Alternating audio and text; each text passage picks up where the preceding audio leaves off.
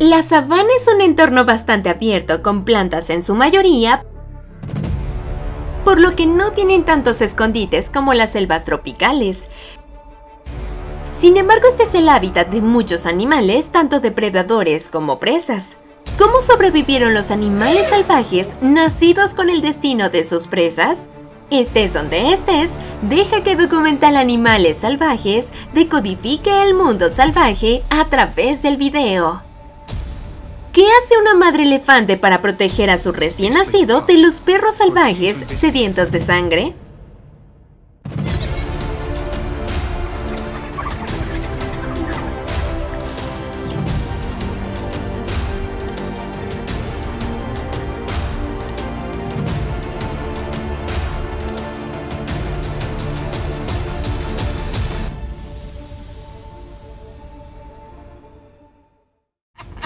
Praderas salvajes africanas, uno de los depredadores más despiadados es el perro salvaje. Son una especie de mamífero de la familia canina, orden carnívoros.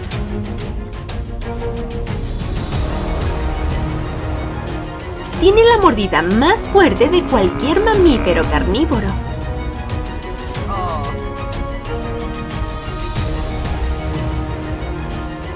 Los perros salvajes africanos son conocidos por ser maestros en el arte de la caza coordinada en la sabana, con una tasa de éxito de caza de hasta tres cuartos en cada cacería.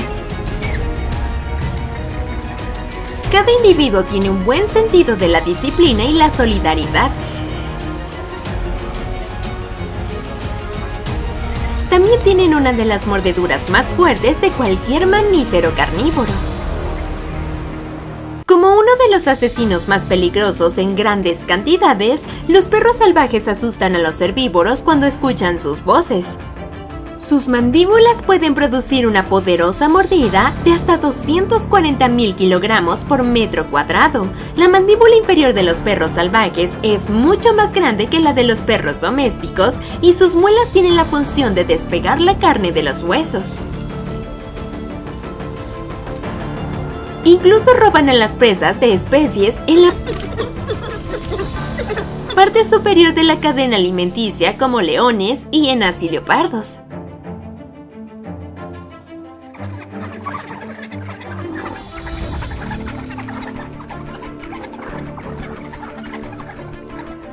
Según la fuerza de la manada y la capacidad de cazar profesionalmente,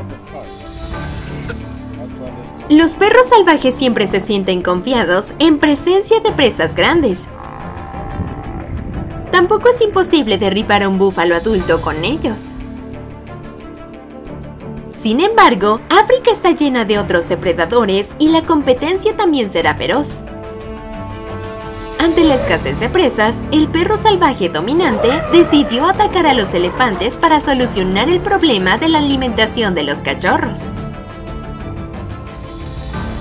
Y por supuesto, los elefantes bebés son el público objetivo. Aunque los elefantes son muchas veces más grandes que los perros salvajes, siguen siendo herbívoros.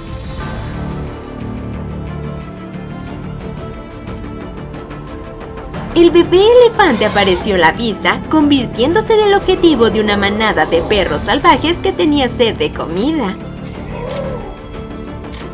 Un poco lejos de la madre, el bebé elefante llamó la atención de los perros salvajes. Están constantemente en busca de oportunidades para balanzarse sobre sus presas. El elefante bebé, al darse cuenta del peligro, corrió al lado de su madre.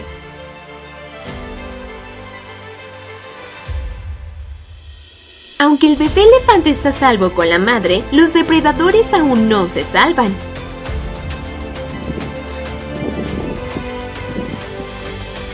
Multitudes de perros salvajes todavía intentaban seguirlo para buscar escapatorias.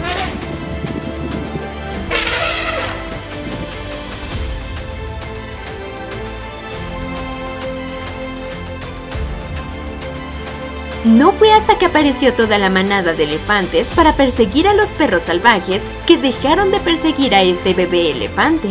Pero ya sabes, el perro salvaje africano no es un depredador que se dé por vencido fácilmente. Sus cachorros necesitan comida para vivir. Ante el peligro, los elefantes adultos solo tienen que tapar la vista de los perros salvajes para proteger a los jóvenes.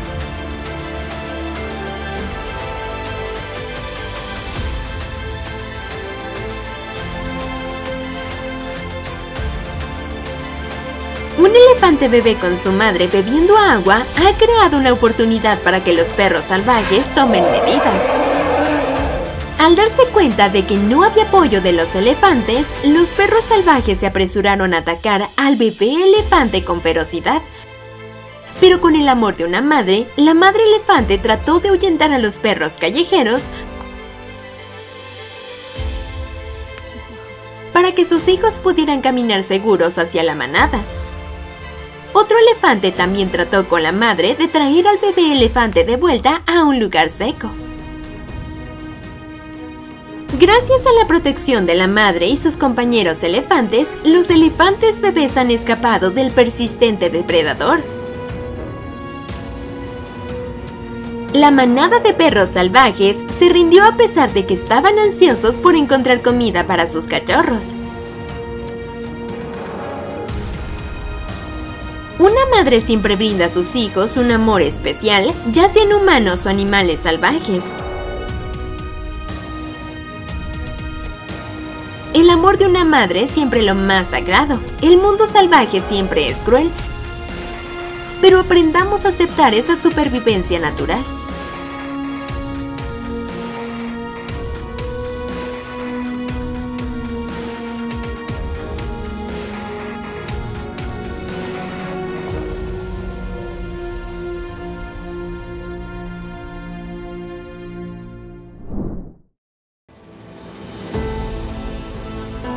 Los chacales y las hienas cazan y roban presas como cualquier otro depredador en esta sabana africana.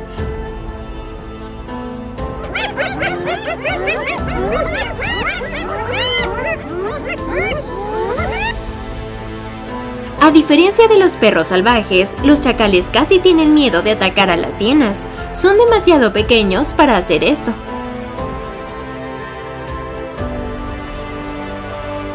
Son depredadores presas.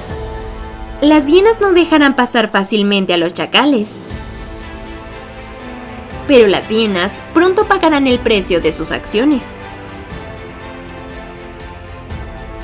¿Qué pasará con estas extravagantes hienas?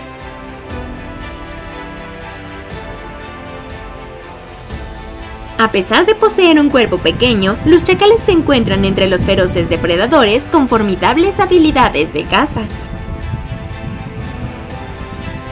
Viven en áreas cubiertas de árboles y rara vez cazan animales grandes. Cazan animales de tamaño pequeño a mediano y también son carroñeros. Verás, un chacal está tratando de luchar contra los buitres para apoderarse de un cadáver que está casi devorado. Las patas largas y los colmillos curvos facilitan la caza de pequeños mamíferos, aves y reptiles, y los pies grandes y los huesos de las piernas fusionados les ayuda a tener una buena forma apta para correr largas distancias sin perder fuerza. El chacal atacaba continuamente para ahuyentar a los buitres y se llevaba el resto de la comida. A pesar de su pequeño cuerpo, el chacal parece no tener miedo, incluso cuando tienen que enfrentarse a las hienas. El chacal busca casualmente comida cerca de la guarida de la hiena. La flagrante invasión enfureció a la hiena en reposo y atacó y ahuyentó, haciendo que el chacal huyera. Verás, el chacal todavía no tiene miedo, pero se da la vuelta y se acuesta cerca de la hiena. No fue hasta que todo el clan de hienas estuvo cerca de mirarlo que se negó a irse. El leopardo puede ser muy astuto y poderoso, huirá si se encuentra con una hiena.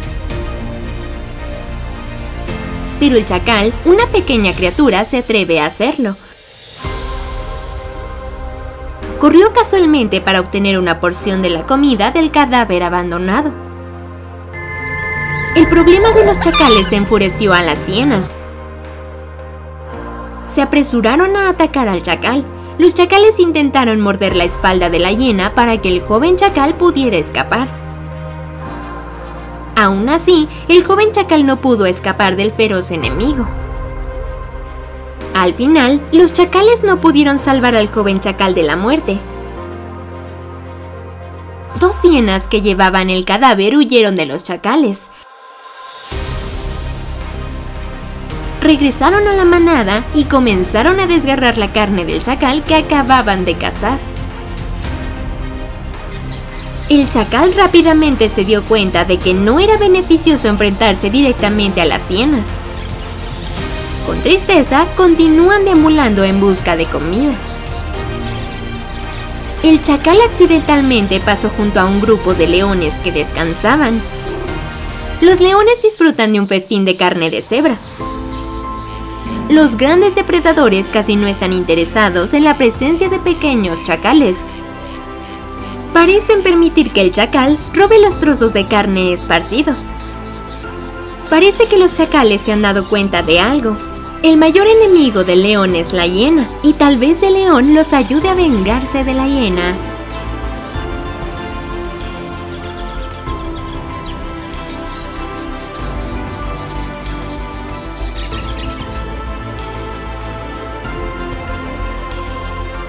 El poder del león es extremadamente aterrador. Se necesitan docenas de hienas adultas para acabar con un león.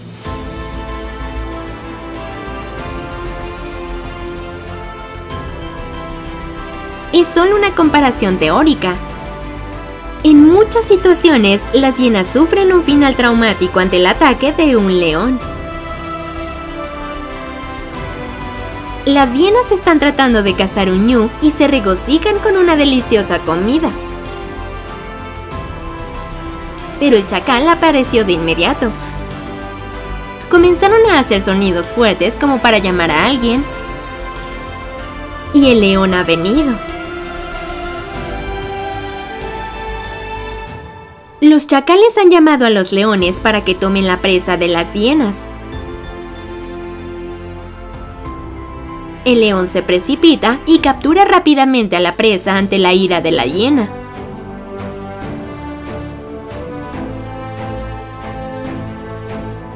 Con la ayuda del león, los chacales finalmente obtienen sus deliciosas comidas. ¿Por qué los leones comparten la comida con los chacales? Quizás solo los leones puedan responder a esa pregunta. De todos modos, los chacales tuvieron su dulce venganza.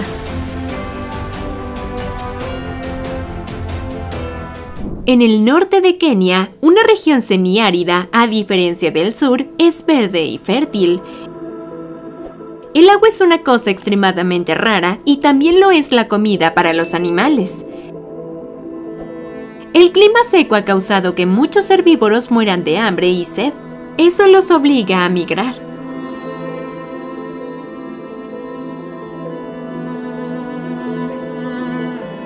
Desde entonces, la búsqueda de presas de león también se ha vuelto limitada. La fuente de alimento está casi desesperada por ellos. Es muy difícil ver manadas de ñus o cebras en los pastizales. Cuando la presa es abundante, la ingesta diaria por león individual es alta. Las tasas de ingesta diaria no dependen del tamaño de la presa ni del tamaño de la manada. Los estudios de leones salvajes han estimado que comen entre 10 y 25 libras de comida por día.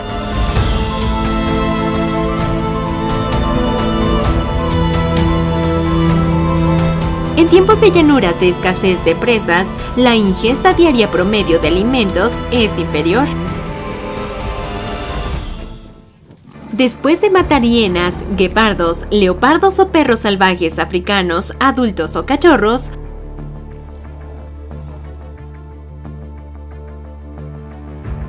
los leones nunca los consumen. La verdad es que simplemente no se los van a comer.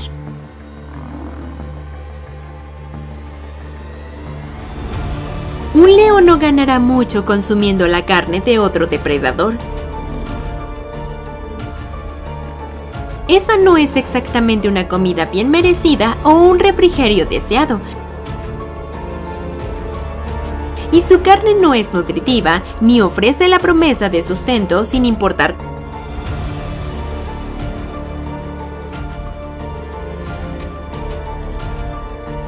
cuán hambriento esté el gato dorado.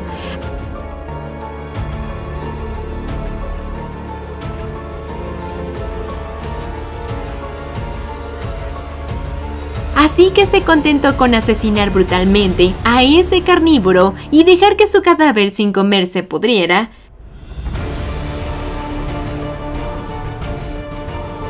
tranquilo sabiendo que acababa de eliminar al otro rival por comida y territorio.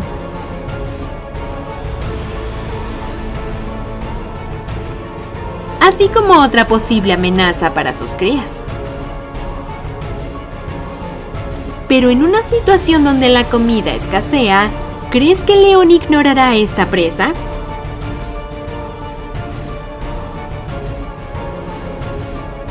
La leona corrió hacia el desconcertado leopardo. Pero el leopardo reaccionó rápidamente y escapó del feroz león subiéndose a un árbol.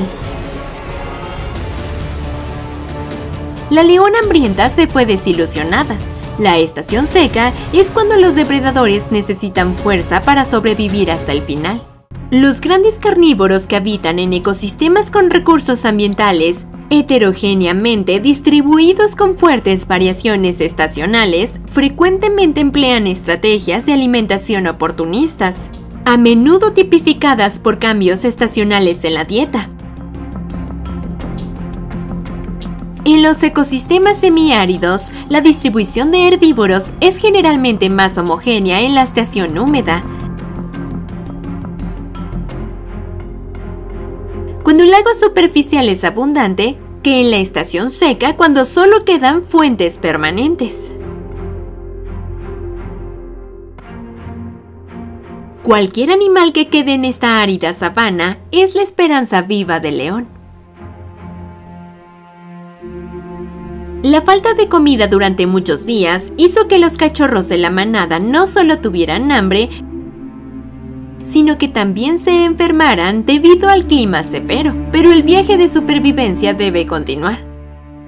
Los leones comenzaron a moverse hacia un bosque de árboles. Quizás esta sea la mejor opción para ellos, donde hay más escondites y más animales para cazar.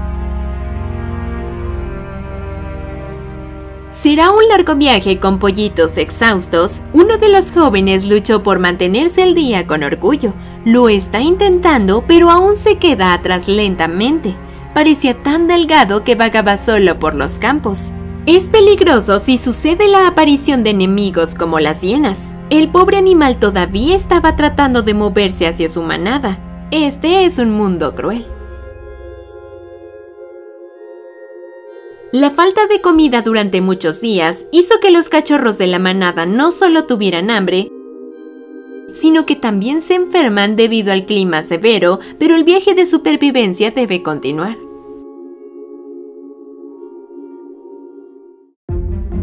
Deja tus pensamientos abajo en la sección de comentarios. No dudes en consultarnos tus dudas. Documental Animales Salvajes resolverá tus dudas. Espero que la información anterior sea útil para usted. No olvides darle me gusta, compartir y suscribirte al canal para apoyarnos a seguir publicando videos más interesantes en el futuro. Adiós y nos vemos en los próximos videos.